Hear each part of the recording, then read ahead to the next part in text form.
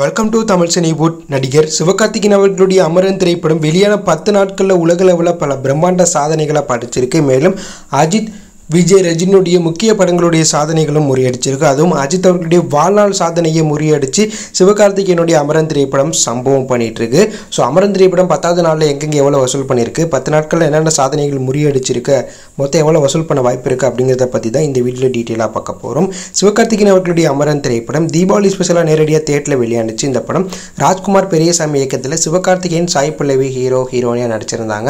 G Prakash இசையமைப்பில் வெளியான இந்த படத்துக்கு தொடக்கத்திலிருந்தே நல்ல விமர்சனம் வந்ததுனால பேனிந்தி லெவலில் இந்த படம் மிகப்பெரிய வெற்றி பெற்றிருக்கு.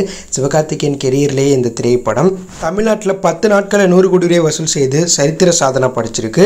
ஸோ அமரன் திரைப்படம் தமிழ்நாட்டில் பத்தாவது நாள் ஐந்து கோடியும் பத்து நாட்களில் மொத்தமாக நூற்றி ஒரு கோடி ரூபாய் வசூல் செய்து விஜய் ரஜினிக்கு அடுத்தபடியாக பத்து நாட்களில் தமிழ்நாட்டில் நூறு கோடி வசூல் செய்த நடிகர்கள் லிஸ்ட்டில் சிவகார்த்திகேயன் மூன்றாவது இடம் பிடிச்சிருக்கார். இந்த லிஸ்ட்டில் அஜித் அவர்களுடைய படங்கள் கூட தமிழ்நாட்டில் பன்னெண்டு நாட்களில் பதினைந்து நாட்களில் தான் நூறு கோடி வசூல் செய்தது. ஆனால் சிவகார்த்திகனுடைய அமரன் திரைப்படம் பத்து நாட்கள்லேயே அதை செஞ்சிருக்கு. அடுத்தது ஆந்திரா தெலுங்கானாவில் பத்தாவது நாளில் ஒரு கோடியும் பத்து நாட்களில் மொத்தமாக ஆந்திரா தெலுங்கானாவில் இருபத்தாறு கோடி ரூபாய் வசூல் பண்ணி இந்த வருடம் ஆந்திரா தெலுங்கானாவில் வெளியான கோட் வேட்டேன் படத்துடைய வசூல் சாதனையை முறியடித்து முப்பது கோடி கிளப்லையும் இணைய தயாராகிட்டு இருக்கு வேட்டையன் திரைப்படம். அடுத்ததாக வேட்டையன் திரைப்படத்துக்கு கேரளாலேயும் நல்ல விமர்சனம் கிடைச்சிச்சு. இதனால அங்கே பத்தாவது நாளில் நாற்பது லட்சமும் பத்து நாட்களில் மொத்தமாக கேரளாவில் ஆறு கோடியே எண்பது லட்சம் ரூபாய் வசூல் பண்ணியிருக்கு. அடுத்ததாக கர்நாடகாலையும் வேட்டையன் திரைப்படத்துக்கு நல்ல விமர்சனம் கிடைச்சி வெற்றிகரமாக ஓடிட்டு இருக்கு அங்கே பத்தாவது நாளில் ஒரு கோடியும் பத்து நாட்களில் மொத்தமாக கர்நாடகாவில் மட்டும் வேட்டையன் திரைப்படம் பதிமூணு கோடி ரூபாய் வசூல் செய்திருக்கு. அடுத்ததாக நார்த் இந்தியாவில் நாற்பது லட்ச ரூபாய் பத்தாவது நாளில் வசூல் செஞ்சிருக்கு அமரன் திரைப்படம். பத்து நாட்களில் மொத்தமாக நார்த் இந்தியாவில் மட்டும் மூன்று கோடி ரூபாய் வசூல் செய்து சிவகார்த்திகன் கெரியர்லேயே நார்த் இந்தியாவில் அதிக வசூல் செய்த படங்கள் லிஸ்ட்டில் இடம்பெற்றிருக்கு. அடுத்ததாக இந்தியாவில் மட்டும் அமரன் திரைப்படம் பத்து நாட்களில் நூற்றி நாற்பத்தைந்து கோடி ரூபாய்க்கு மேலே வசூல் பண்ணியிருக்கு.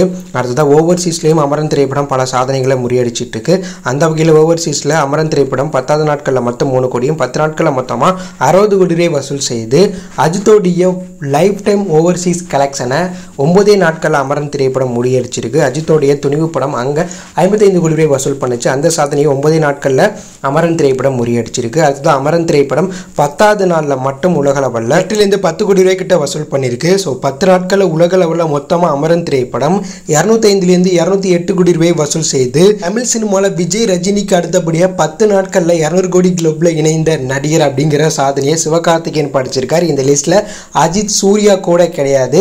அஜித்தோடைய வலிமை திரைப்படம் இரநூறு கோடி வசூல் செய்தாலும் அந்த படம் முப்பது நாளில் தான் வசூல் செய்தது. மேலும் துணிவு படத்துடைய லைஃப் டைம் கலெக்ஷனை ஒன்பதே நாட்களில் சிவகார்த்திகேயன் முறியடிச்சிருக்கார். இதனால் அமரன் வெற்றிக்கு பிறகு தமிழ் சினிமாவுடைய டாப் த்ரீ இடத்த சிவகார்த்திகேயன் பிடிச்சிருக்கார். தமிழ் சினிமாவில் டாப் ஒன் நடிகராக விஜய் இருக்காங்க. டாப் டூவில் ரஜினியும் மூன்றாவது இடத்துல அஜித் இருந்தாங்க. ஆனால் தற்போது அமரன் வெற்றிக்கு பிறகு சிவகார்த்திகேயன் அந்த இடத்த பிடிச்சிருக்கார். ஆனால் விடாமுயற்சி வெளியானதுக்கு பிறகு மூன்றாவது இடத்த அஜித் பிடித்தாலும் குறுகிய காலகட்டத்தில் டாப் த்ரீ இடத்த பிடித்த நடிகர் அப்படிங்கிற ஒரு பிரம்மாண்ட சாதனையும் சிவகார்த்திகேயன் படைச்சிருக்கார். ஸோ சிவகார்த்திகேயனுடைய இந்த அபார வளர்ச்சியை பற்றி நீங்கள் என்ன நினைக்கிறீங்க?